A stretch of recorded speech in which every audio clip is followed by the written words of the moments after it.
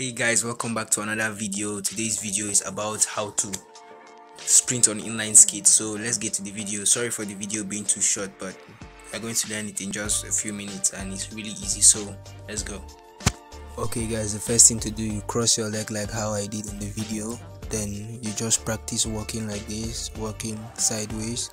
Try it again walk sideways walk sideways. Then keep just keep practicing so as you do it again like this then after you just like try and do it faster but don't do it as fast as i'm doing it right now because but just try doing it a little bit faster but practice the walking the walking that baby steps practice it very well then you can be able to move faster.